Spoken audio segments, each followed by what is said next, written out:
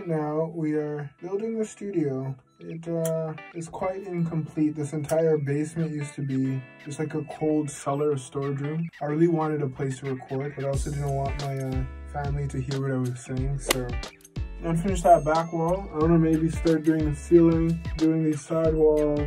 Got some Gorilla Glue. The one that I usually use wasn't there, so I'm trying this new white one out. Usually what I like to do is, uh, because these are concrete walls, so it doesn't really stick too well.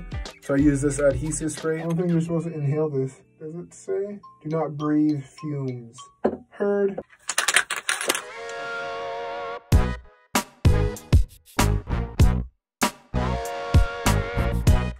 Honestly, this makes me feel like I'm I'm spray painting. This was no paint. How does that look? You guys can't even see it. Let me show you what I was talking about. Looking in that corner. I want to get this. Looking spiffy. When I was like talking to myself and I was like, yo, I don't know if uh, this is the best choice. I don't know if you can do this. Because my first song changes. That song was like, that wasn't even the song I was gonna release. I was gonna release another one called, um, it was called something. No, it wasn't called something, but I don't remember what it was called. I was too hesitant about releasing a song because lyrically there was so much like content in it and it was like great and all, but at the same time I felt like it's not what I wanted to leave behind. I was like, man, but I don't have a strategy that I've created yet. I don't know what I'm gonna do. And after one day, when I was in the studio, this this beautiful thing that I'm working on right now, I was like, bro, if you don't release that, you're never gonna release it. You're never gonna do it. Essentially, we don't know what happened, so we have to do what we want to do. We have to be who we want to be in the time that we have so that we don't miss out on life. I didn't tell anybody that I was dropping anything. The support that I got after I released was tremendous. I was very shocked. I thought that I thought nobody would care. People would think that I was strange for wanting to pursue music. But people cared. Not that that's what it was about. But um, it was just nice to see that if I hadn't released it, released that track, a lot of the opportunities that I've been exposed to wouldn't have occurred. If you have a flat tire, people are more inclined to help you or support you in this case once you start to help yourself. If you wait for people to support you, they never will. There's this uh, motivational speaker that says, why are you um, why are you waiting for people to support you? It's your dream. Why should they support your dream? You should be supporting your dream. One thing that I realized is like the people that you thought would support you don't really support you, or they're more indifferent. And there's two reasons for that. The first reason is that they're so used to the old you that this version of you is almost like you're not being real. And the second reason is that you haven't put in enough work for them to support you. But either way, the reality of the situation is that you gotta work harder. You got to grind. We got to grind for a long time, maybe like two and a half years, I didn't post anything on social media because I didn't know what to post. I thought that the content that I was posting wasn't giving value. I thought I just didn't post anything. But you can't exactly do that. You've got to show people what you're about. If this is what I want to do, I have to start somewhere. I have to do something. I have to be willing to accept the fact that I'm not going to be good. The fact that I'll get better over time. That we did. I wrote a poem, and one of the lines in the poem said, how do you expect to perfect your craft if you craft nothing? I can't be so conscious of what people think that I don't do anything at all. It's like we're scared of what other people think. That's why we hesitate to do anything.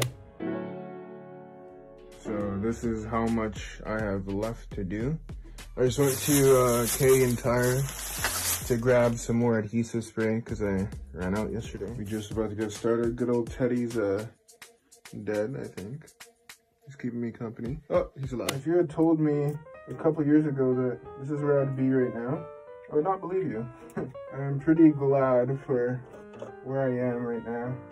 I feel like you kind of have to be like, you can't really appreciate the life that you want without appreciating the current life that you have. Life kind of gives us lessons or like specific tasks or challenges, kind of like a game that you have to complete in order to get to the next level. But you don't get past that that level, then life's like, you ain't ready to move on. Try to put you against these big bosses. You're gonna die. nice nose there. Where at?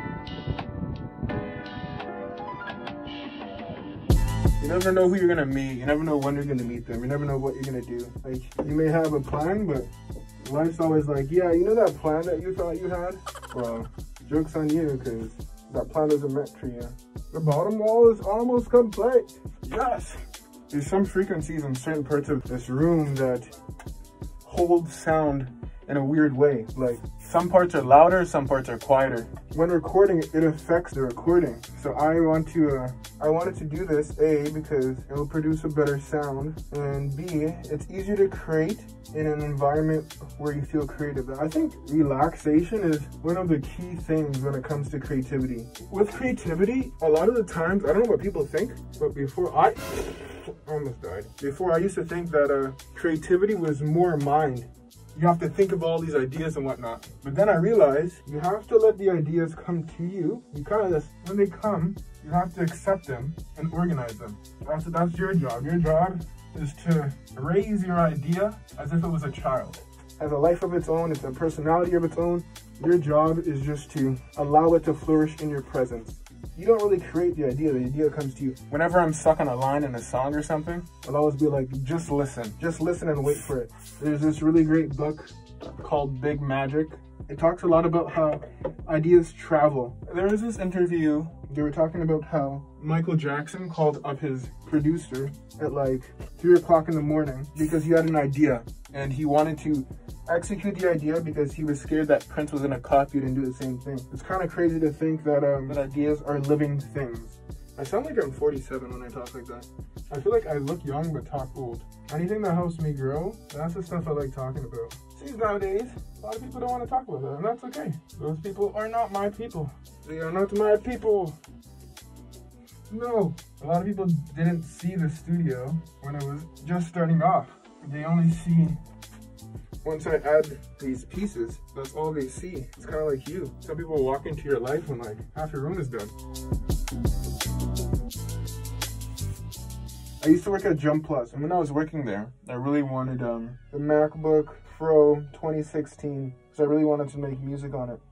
I remember saying to myself at one point, you're gonna get it, just just wait. Because the one that I wanted to get was like the used one. They have on like open box one, or if there's any issues with them, then you're able to get them on a discount.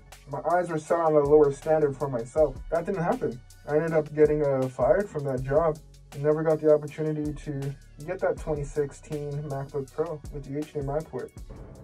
But then the M1 MacBooks came out and I uh, saved up and got one of those. I think one of the coolest things is sometimes what we want for ourselves is not what we deserve. Like we deserve more, but we we want or settle for less. Sometimes life doesn't give us that because it knows we deserve more. Like we always get something no matter what. We never go into any situation and not receive anything. Life is always giving. But how you see it is what you get. If you see getting fired as a negative thing, then you're going to be sitting in negativity. If you see it as an opportunity to align with something that resonates more with your personality and the type of person you are, then that's what you get life is always working on our side. I think it's us that goes against life. Like, have you ever had those moments where, you know, something is telling you, yeah, you should do this, but you're like, nah. It's been about a person or a situation or a job.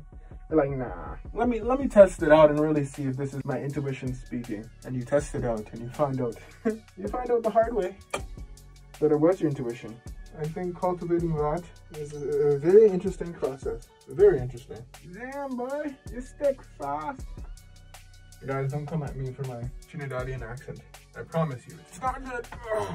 Sometimes mistakes are a good thing. Like some artists do this as practice where they tell people to draw random lines on the page and they try to create a picture. There's another one, shout out to my grade 7 teacher, Miss Demberling from Sunnyview she um, introduced me to this, what's it called, when you put your pencil on the page and you don't lift it up and you try to make a drawing like that. And during that class, she encouraged everybody to draw whatever because there's not really any mistakes. And I think giving the freedom to yourself of being able to test out and try out different things allows you the opportunity to get closer to that, that final image of perfection that you have.